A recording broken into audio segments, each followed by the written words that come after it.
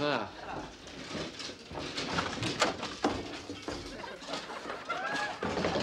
Dennis, what a jerk!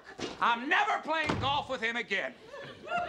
Who? Gendason? Steve Gendason. Why does that name sound so familiar? He used to be a baseball player. Yeah.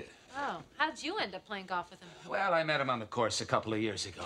Yeah, played with him a lot. But today was it. We're on the 15th hole. Yeah, he's beating me by a couple of strokes. then he's about to hit his second shot when he picks up the ball and cleans it. So what? Sorry. But the rules clearly state that you cannot clean the ball unless it's on the green. The rules are very clear about that. Certainly are. Yeah, so I penalized him a stroke. Ah, so what happened? He lost it. We almost came to blows. We're like face to face, like a manager and an umpire. You know, we're like, hey, what are you talking about? I don't say what you say. You think I'm gonna put up? You're in my face.